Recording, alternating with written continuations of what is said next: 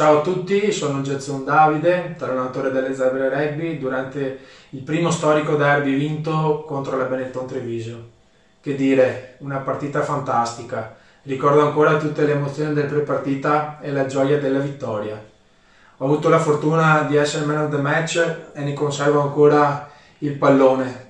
Ovviamente quella vittoria la dedico a tutta la città di Parma e alla società che ci ha creduto anche se uscivamo da un momento difficile. Saluto tutti i miei compagni e li ringrazio ancora perché se questo premio ora è in mano mia è sicuramente grazie a loro. È stata una partita veramente giocata fino all'ultimo minuto, ma che abbiamo avuto il modo di poter dominare perché ci eravamo preparati alla grande.